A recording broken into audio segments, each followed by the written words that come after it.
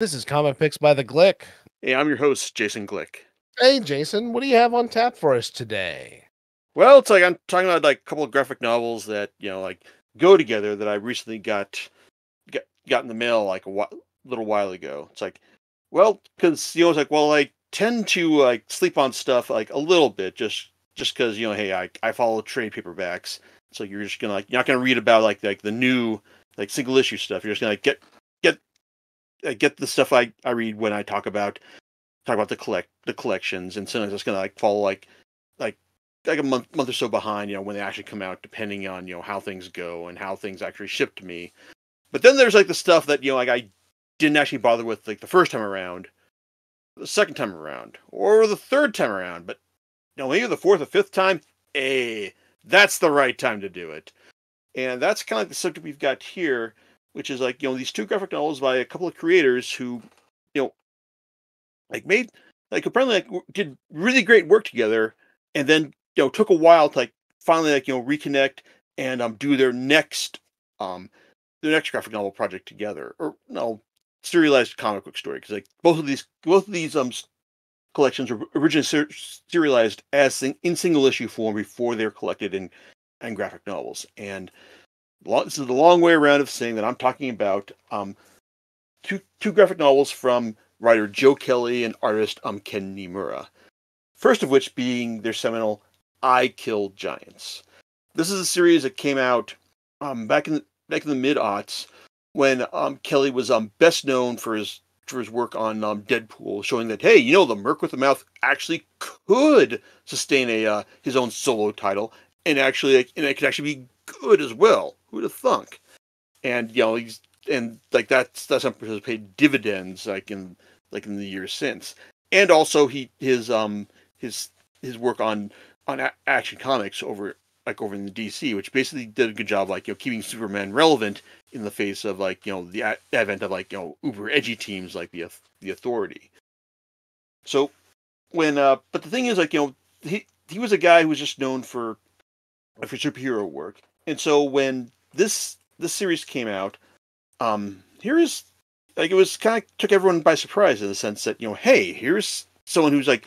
done like a lot of like you know er, like irreverent, um, quasi-violent super superhero work, and then doing something like you know complete, completely different. Basically, a grounded um story that you know trade that kind of dances back and forth between what is real and what what is not. As it focuses on like a protagonist who was an outlier, like you know for the time and arguably still is in mainstream comic space, um, like a like an elementary school girl, and also working with an artist who no one had ever heard of, but arguably like you know knocked it out of the park here because I Killed Giants is a story of um one fifth grader um named Barbara Thorson who doesn't doesn't fit in. It's like when it's like like when uh one when we're introduced to her, it's like you know she's like it's like she's basically like, you know like poo pooing on the idea of like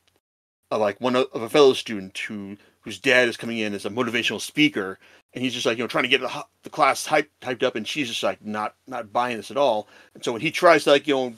like it's like say like, you know what's your deal? It's like it's like, it's like i hunt giants. I kill giants. And you're kind of just wondering like you know what is this girl's deal?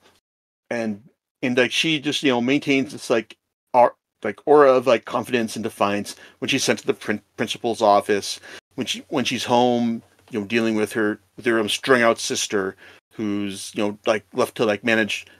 uh, watch over her and her brother. It's like and as she's also just you know managing a like like her like a d&d session with her bro- with her brother and his friends. It's like and doing it with like you know like uh appreci- appreciably nihilistic skill for a, a like for a dungeon master. I've known one or two at least and and also just like you know but at the same time though you kind of want to just you know what's like you know what's going going through her head because like you know there's clearly something that, like that's like you know bothering her but you know she can't that she's not like but she's not really articulate about beyond the fact that you know she that the whole like you know she kills giants bit er, earlier on and then you know things take a fantastic twist early at the end of the issue when we see all these you know like cre- like creatures like around her in the it's like in the like in the like in the Long Island river riverfront um scenery at the end of the first issue. So you're kind of wondering like, well, wait a second, maybe she's not crazy. Maybe she does kill giants, and she and like no one else is believe her because you know that's you know we're still dealing with like you know comic books here. I think that's still a va- a, va- a very valid um, viewpoint here, and that's kind of like the angle that um, Kelly and Niimura take, like through a good portion of this like of this series. Like you know, is Barbara, you know, like actually a genuine giant killer, or is she just a uh, you know disturbed little girl who's you know running from something very real, living it in like in her home? It's like, and even though it's like you know, I think like the series like you know has its like you know like flaws. Like it does kind of read like, hey, you know, like like approaching middle aged guy writes um young young girl dialogue. That's that's kind of and that's kind of that's kind of weird because it doesn't quite doesn't quite hit it's like hit right. It's like and it's like and it's like and it just kind of feels you know like like a little bit stilted at it's like at times, but it's like you're kind of you are kind of wondering you know what's what's really going on here. It's like and but like it's so that kind of mystery like does draw you in, but it also like draws you in in the sense of like you know just like you know what's you know like you know, like how messy things things are willing to get, like how how he's willing to like you know how um both creators are willing to go like you know deep into like how what how screwed up um Barbara's home life is, not just her home life, but her also her uh how that and how that well how her home life bleeds into her her school life and how she's you know she's the weirdo at school and that leads to her being picked on by the like by the bully. It's like and how she and even though she fights back, you know, like this is still like a big, strong girl who's just like you know like not not about to crumple in front of just like you know like marginal resistance. It's like, but then there's also like you know the uh, like the new girl in it's like school, Sophie, who does kind of like you know like see see this like you know weirdo next door and thinks like, hey, you know, it's like maybe I would like to know like you know what's going on in her mind. So there's like there's all this like struggle right here. It's not just you know like you know how much Barbara's life sucks it's like and how she has to deal with it by retreating into a fantasy life, but also just you know how like there are people who do want to help her, like like her new like her new her new friend, like her sister, and also like the school counselor, whose work is arguably cut out for her. It's like because like she's dealing with like you know like someone who just like does not trust her as well, but she's doing she's giving it her best, and things like really just like kind of, and it's also kind of interesting to like observe how things keep getting get keep going back and forth between just you know like her, what's going on in her it's like uh, in the real world and also how Barbara perce- perceives the world as well. It's like and just how you know things come to a like come to a uh, crux like in the last couple of issues when it's like when like you know the giants actually do start showing up and you're just kind of wondering like you know well maybe she wasn't as crazy as we thought and then at the end when you know like not to give anything away, but I think that you know the ending it gets um, does feel earned, and in fact, for all its like for all its warts, it's like and um they think things that you know like didn't read right in the first place and maybe haven't aged quite as quite as well. It's like it does like deliver like, an appreciably emotional finale that I think is worth like worth checking out. It's like I mean I got the uh, 15th anniversary edition of this series, so like, the fact that they're still reissuing this this this comic 15 years after the fact, you know, should tell you something right there. And I will say that you know I appreciate all the uh, extras that they included here, which you know like there's a lot of like you know I mean there's the the standard stuff like you know the cover cover galleries, but also the uh, afterwards and commentary from from um, Kelly and, and Niimura talking about that, you know, how they like like how, how they, they worked upon like the uh, character designs for the for the creators, I mean for the characters, and also just you know like they're they're talking about how the series has found like an, an international audience as well, which is really kind of impressive, like for like an independent American comic book, and also the uh, the fun um uh like one one page um um bits where um where Niimura and Kelly um talk about their like um detail their their creative creative relationship in a uh, very in a deeply what I hope is a deeply irreverent fashion. It's good. It's like it's fun. It's like and if you're going to read um only one um comic from this like from this podcast, this would be it. And, and also I do want to say that you know it's like you know I think like it's it's it's quite well written overall. The art from Niimura is um really it's like it's still it's still really distinctive. Like he's got like a like a, a scratchy like a, a scratchy impressionistic style that it's like that you know it's not all about just like you know drawing everything, but just you know capturing the like the like the emotion like and like the like and just like the overall like you know impression and style and style of a particular scene. It's like he's good at drawing the uh like the grounded stuff and the uh, like the really fantastic stuff as well. Which you know it's like it's it's a couple of extremes right there, but you know it's like he but he pulls it off um quite quite well when you're when you're going between those those two extremes. And you know it's like after this series you know hit hit um well it's like hit, hit really big um back it's like back when it came out um like in oh man when was it originally published uh, it's like uh what does it say here what does it say here? Um ah damn it. I can't remember. Let's just say 2008 or so because it's because it came out in the 15th anniversary edition came out last year so there you go. So you think that you know hey you know it's like after this hit and you know like garnered a bunch of awards, a lot of buzz, like lots of sales, and even a movie that came out in 2008 with a script by Kelly. You think that, you know, hey, shouldn't they just, you know, like hit it off again and just, you know, like do like, you know, more cre- like works on like, you know, like from the team that brought you I Kill Giants? Well, no, that's not actually what happened. It's like what did happen um almost almost um 50, 15 years later was the fact that um like was their um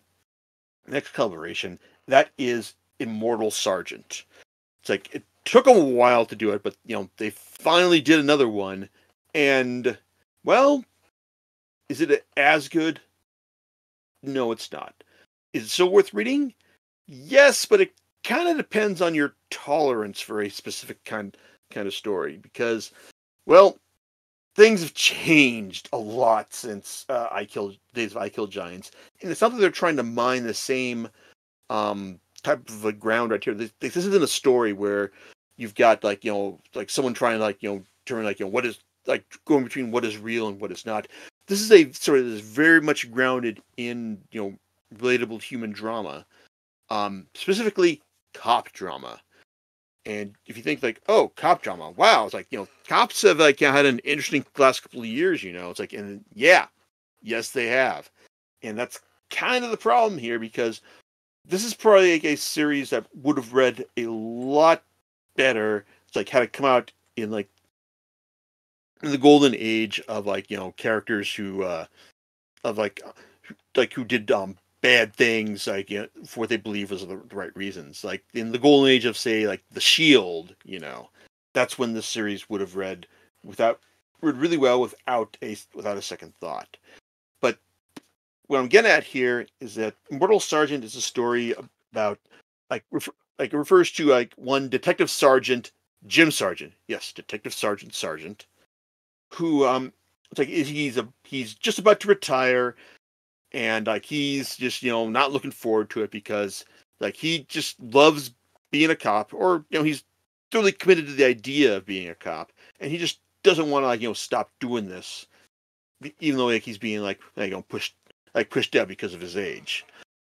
But um on the eve of his retirement though it's like his like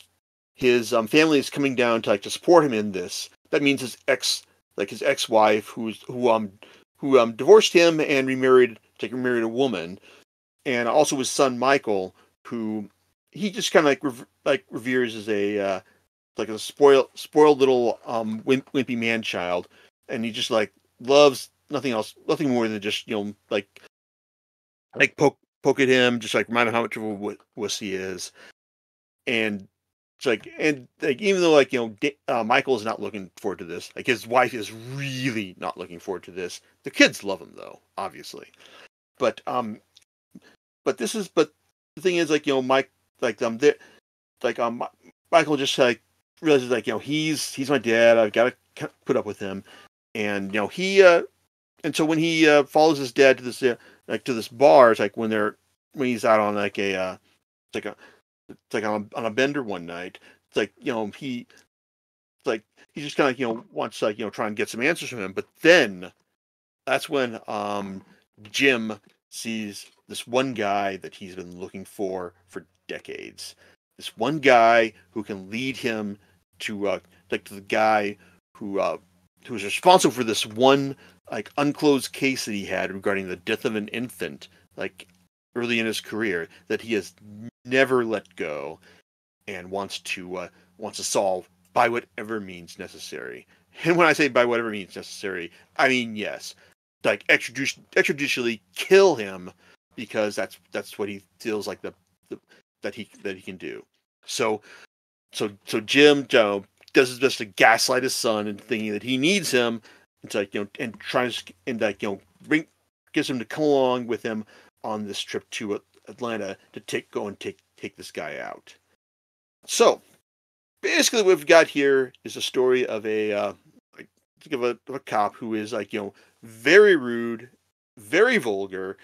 um, bo- um arguably ho- homophobic, um, definitely uh, more than a like more than a little racist, but he's trying to you know solve this this one last case before retirement, and it's and yeah, it's like you know it's like seeing him like like seeing uh like Jim spew off his like speak, speak his mind and voice his opinions. It's meant to be. It feels like it's very meant to be like you know edgy and transgressive, just like the kind of thing like you know like you hear this you know like you know you don't say this this shit anymore, or like as Michael puts it, you know this is why they want to defund the police because of all whatever all the stuff you're saying right now, and yeah, it's like I mean they're not wrong, and you know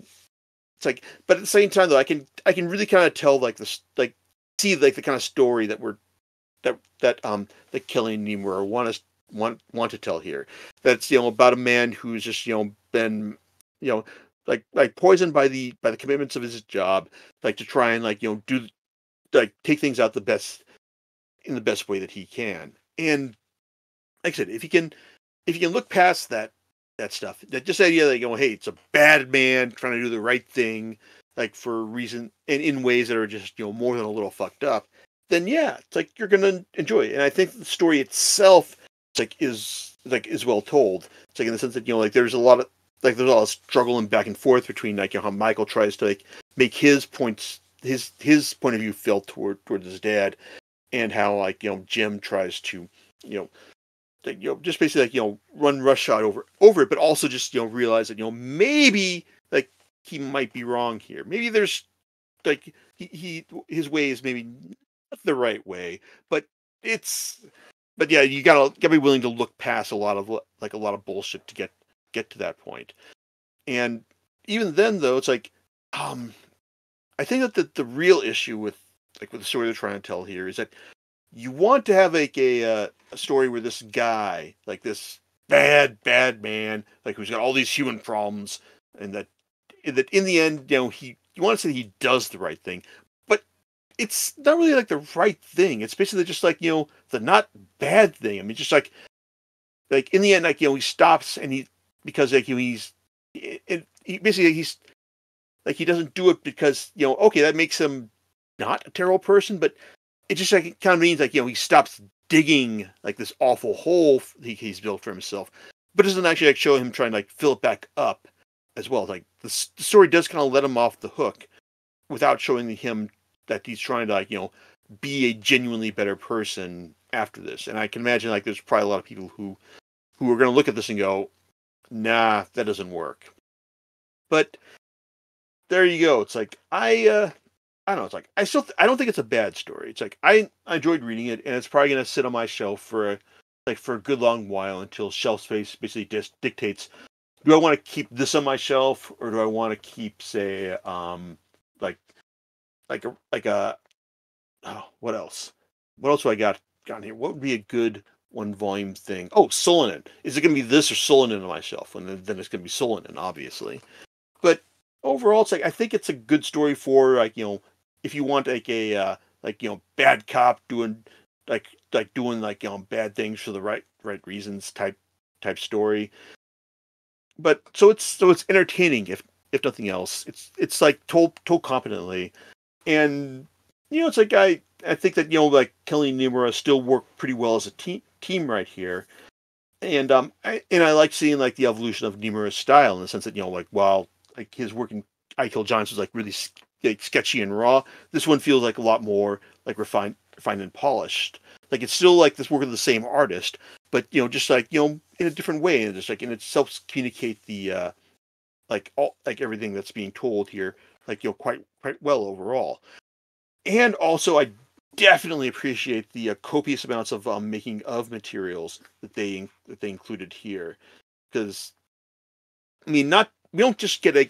I mean, if if nothing else, I would have appreciated the uh, lengthy afterword from from from Joe Kelly because it basically like you know gives a lot of context of the story he's trying to tell here. And even if I don't think he quite you know gets that across, I get the feeling that you know this is a story that he was trying to tell you know in order like to help um, like reconcile his like complicated relationship with his dad, who was also a cop, who also had you know one major thing in common with um with, with the protagonist here. And then, but then you've also got like a lot of talk with um Niimura about his process, about his process, and in trying to find the uh, right character designs, like for for Michael and Jim. It's like, and even better still, it's like you know there are like you know like storyboards for like for scenes that they were planning on including, but they didn't. And actual um cut scenes um for the uh like um from the uh, comic itself, which you know you just don't see. Period. Man, it's like I can't I can't remember like I have to like rack my brain for a bit to like realize like to remember the last time I saw like, a comic that actual actually included like you know like scenes that they you know they worked on and then decided nope um we we're not going to put this in here because it's just like it ruins the pacing but I appreciate them including it here. It's just because like you know, one of the cut scenes is another one of um Jim's stories, which you know are very off color, arguably in bad taste, but are still very entertaining and deeply darkly comic. It's like in their it's like, it's like in their their own unique way. So yeah, it's like like if you if you're in the mood for this kind of story, then yeah, it's like it's gonna it's gonna deliver. I just want you to know that you know not everything is going to uh, hit the way it is they the creators probably intended. But I but you know I still I still enjoyed it overall. Really, it's like if you're going to buy one of these two graphic novels, it's going to be I Kill Giants because it's the one that you know still feels like it. It still has like a real genuine emotional impact, and that's still saying something after 15 years and all. So kudos to them. And here's hoping it doesn't take another 15 years for them to do um, their next work because you know these guys, you know, they, they clearly work well together, and I want to see what they do next, sooner rather than later.